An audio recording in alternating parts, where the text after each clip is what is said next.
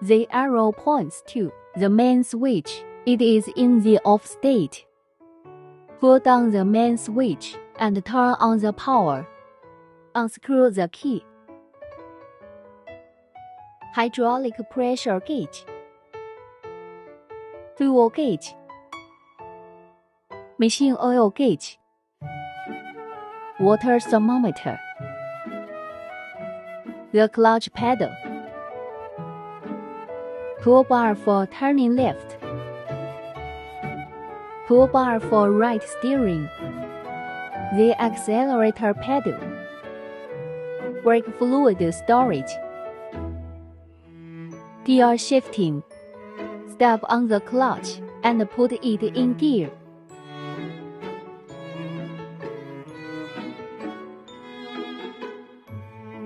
Turn on the master switch and unscrew the key.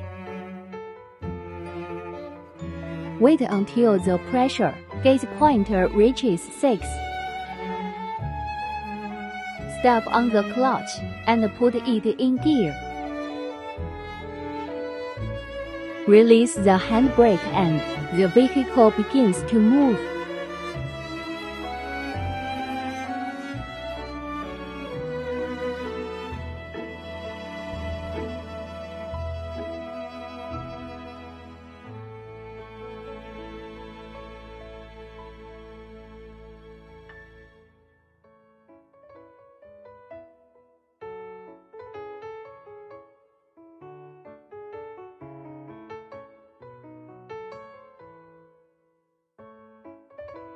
The vehicle came to a stop.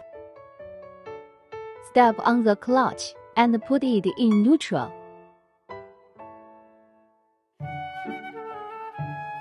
Lift the flame out switch.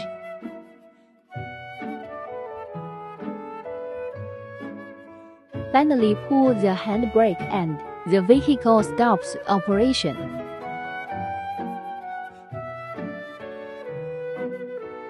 Turn off the main power switch. Pull right to start work.